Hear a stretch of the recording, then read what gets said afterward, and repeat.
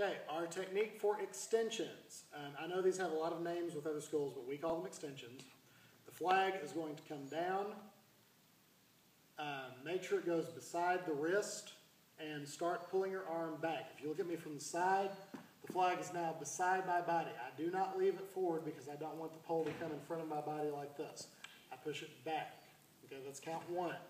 From here, sideways point with the flag pointing straight sideways up to two.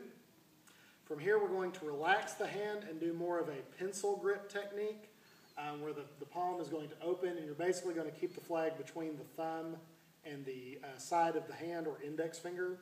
So you'll pull behind you, three, bend the arm, and come up four. So this will look like one, two, three, four. The left hand, again, same technique.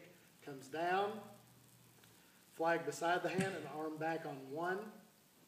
Pulling through this sideways position and up to two. Bending the arm and having it right behind the shoulder on three. Pulling out to where it's sideways and then up four. It looks like this. One, two, three, four.